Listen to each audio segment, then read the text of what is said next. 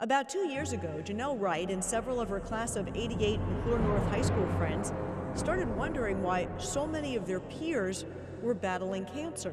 At first, there were 30 cases. Within two months, she had data on 200. Now, her maps have 700 cases in four square miles. The creek where they played as children carried a secret.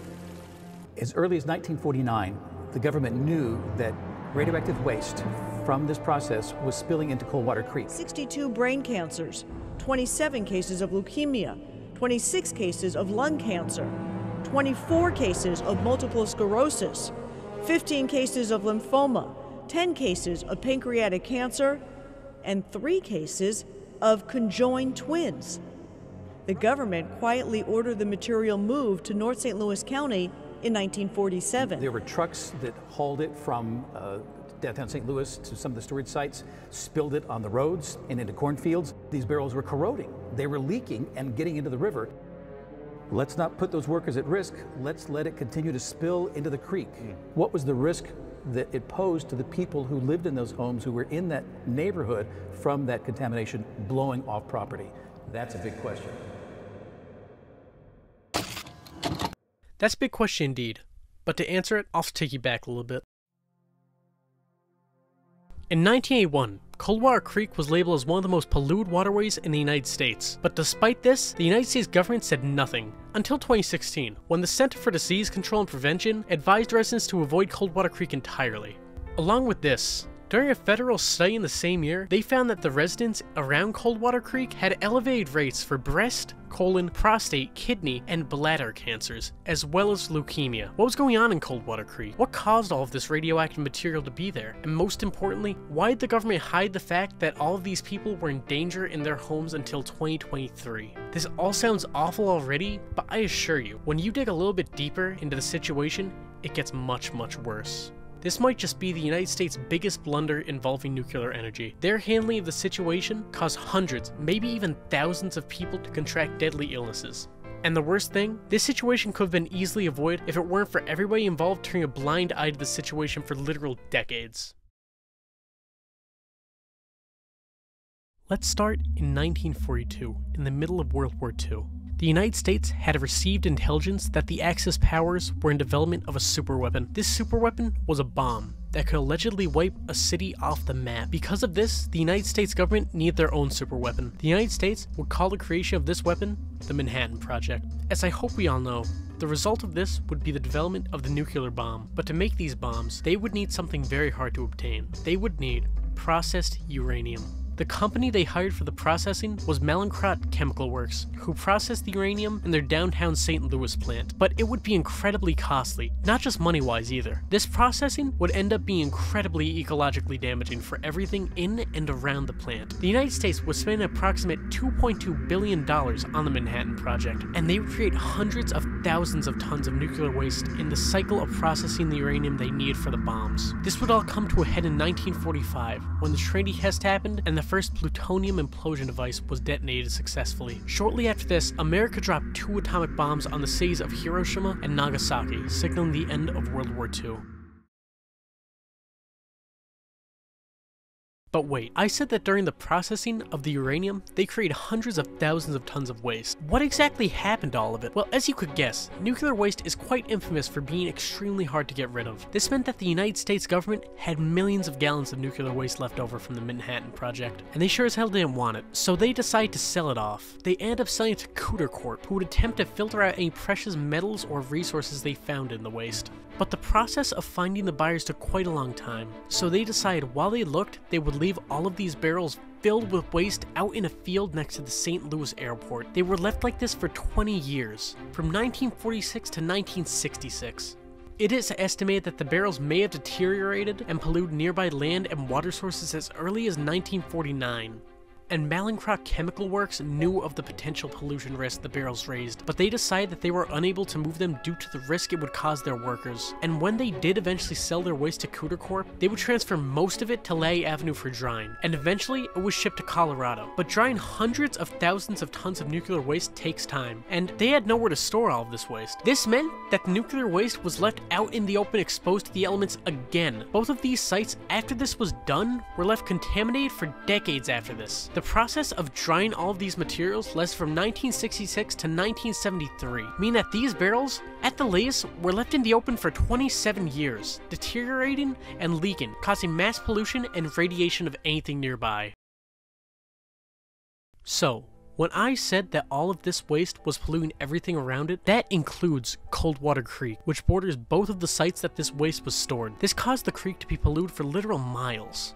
Another little geography fact is that Coldwater Creek now runs through several busy suburban towns, including Hazelwood, Berkeley, Florissant, Old Jamestown, Blackjack, and Spanish Lake. This led to all of these towns showing an increase in cancer rates for all the people who would be in or around the creek for any reasons back to Cotter Corp, who bought all this waste. In 1973, after all of the waste that could realistically be used for materials was shipped off, they were left with about 8,700 tons of leftover waste. And what did they decide to do with all of it? They decided to dump it illegally in a public landfill called West Lake, along with 39,000 tons of topsoil that was also contaminated from their site. The government eventually found out what they did, but they were at a loss for what to do. There were so many parties involved, and while they said that Cotter was clearly in violation, they thought they mixed so much topsoil with the waste that it was essentially harmless. And because the United States legal system is kind of garbage, Cotter got off essentially scot-free, only having to pay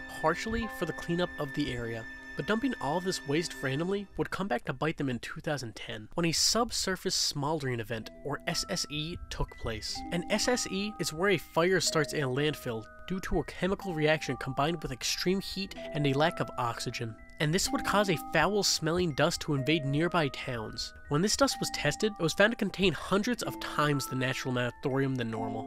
Thorium is not a good thing. In fact, I would go as far to say that thorium is a very bad thing. And being exposed to thorium is very bad for you. Being exposed to thorium can cause you to be an increased risk for bone cancer. And inhaling it is even worse for you. Inhaling thorium puts you on much greater risk for lung and pancreatic cancer. Any of these factors alone would be awful, yes, but not horrendously impactful. But all of them combined led to absolutely catastrophic results in the environment. At the center of all this is Coldwater Creek and the people who live around it. The population that lives around Coldwater Creek have been ravaged by the leaked radioactive material, and it has caused children born between 1960s and 90s, and even today to an extent, to have a much higher rate of cancer than any other part of the United States. And guess what? This is even the worst part of the story yet. The situation gets so much worse when you find out what the CIA did during all of this. When all this was happening, the government was releasing papers downplaying how bad the pollution actually was. And what was not known until recently was that they lied about almost everything in relation to the pollution at Coldwater Creek.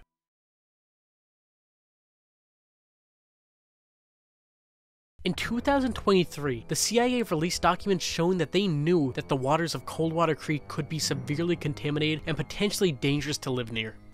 Wait a second, I just said these documents were released in 2023. So when were they actually written? Well, these documents were originally written in 1949 and are only now being released to the public. That's right, only a few years after Mallinckrodt put all of the waste in barrels, the CIA received a report from Mallinckrodt that the residue from processing all of the uranium was producing large amounts of K65, an incredibly radioactive material, and they were storing the K65 produced in deteriorating steel drums. And although they knew that these barrels would inevitably leak, they simply could not replace them because, and I quote, the hazards to the workers involved in such an occupation would be considerable. When they were processing uranium in World War II, Mallinckrodt put in another report that the risk of polluting Coldwater Creek was far less serious and immediate than the jobs the workers on site were doing. This meant that even during the Manhattan Project, the CIA knew that they could very well be polluting Coldwater Creek. After the war, the United States had to move all of the leftover K-65, and they decided to move it via truck next to the airport, as I mentioned before. And it later describes that in 1965, in a government report, they discovered that the mountain of radioactive waste was drained into the creek and causing, quote, some minor contamination in Coldwater Creek. This was, of course, an understatement. At the time, Coldwater Creek was already incredibly radioactive and dangerous to be near. And remember I said a little while ago that most of the waste was transported to Latty Avenue? Well, they just said fuck it and decided to bury the other 50 to 60 truckloads of leftover waste underground. And as far as I know, they're still there today, just buried next to the airport. And get this, in the late 1970s, there were reports that uranium, radium, and thorium were found in a drainage ditch next to the site. Yet, they didn't do anything.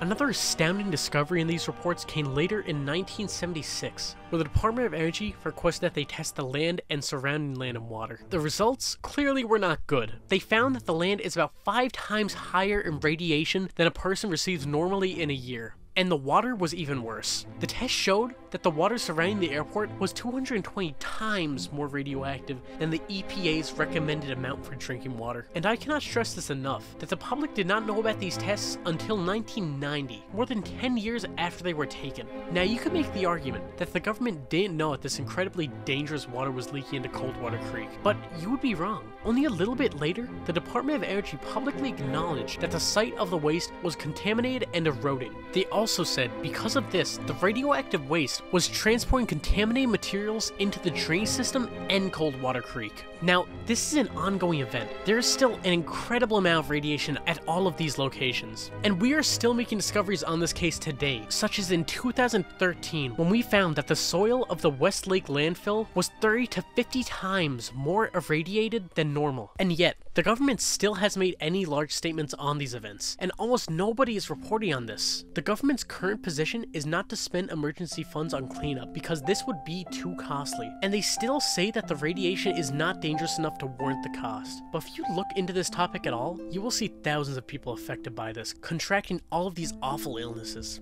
But recently, there has been a slight win for the people who've been affected by the radiation Coldwater Creek.